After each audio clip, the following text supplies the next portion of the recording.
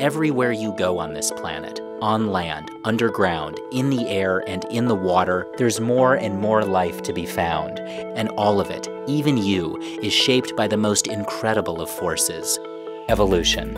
In Nova's Evolution Lab, you'll be climbing around the tree of life. Learn the basics from our videos, then work your way through six missions using physical traits and DNA to build out portions of the tree.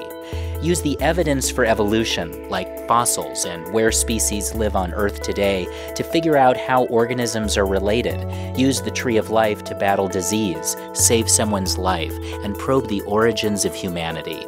Then conduct your own research with Deep Tree, a massive interactive tree containing over 70,000 species, each one a story of life on Earth.